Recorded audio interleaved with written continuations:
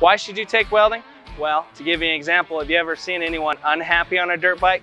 Well, imagine that dirt bike's a grizzly bear, has an American flag bandana, a mullet, a Led Zeppelin shirt, shooting a bazooka. Well, that's exactly what welding's like. Want to make some money? Boom, we got you. Want to light stuff on fire? Boom, we got you. Want to blow some stuff up? We got you. Want to repair grandma's bike? Boom. We got you. Still not sure? Here's some words from some actual students. There are companies that will hire you right out of high school, and you can even make 18 to $26 an hour. Not only that, it does wonders for your hair.